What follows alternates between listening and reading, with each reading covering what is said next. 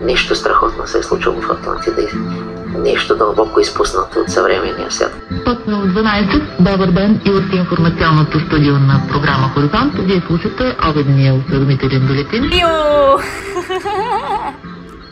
Щял да живее на Марс, нали? Да. Часът е 4 след обед. Новини. I'm just a Scorpio. Радио София, програма Хоризонт.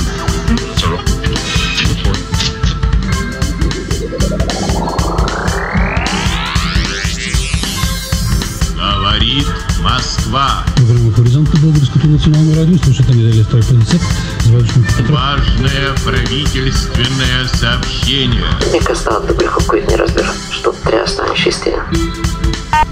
После вече и да не искаш си добър. Идете! Атлантида се изгубила, но това е само привидно, защото Атлантида не е само тяло, тя е душа и дух.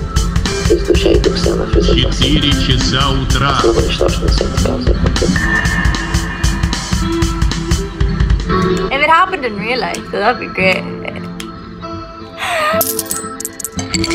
Потопа е дар, той е дар за промяна на сътворението. Виж как го тълкуват. А целта е да станеш осъзнат дух. Mushroom! I like regular mushrooms, like the non wacky ones. I like just regular oil fungus.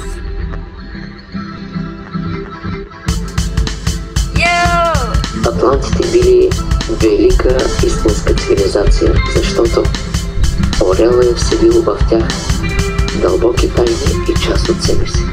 Така атлантите станали жреци на безкрая. Атлантите не са били привързани към живота, а към Орела. Атлантите казват, че знанията са много, забележи, знания, много ловки демони. И само истината може да ти порази, ако се посвети живота на истина. Това е единствения начин, защото постигаш висше знание. Как няма да ги поразиш? Това, което преодоляваш, казват атлантите, става твоя лична сила. Изработване на лична Божия сила. Знаеш ли, той, той се стреми към смъртта. Знанието е смъртта. Работа за познанието. Любовта е живота. Толкова е ясно.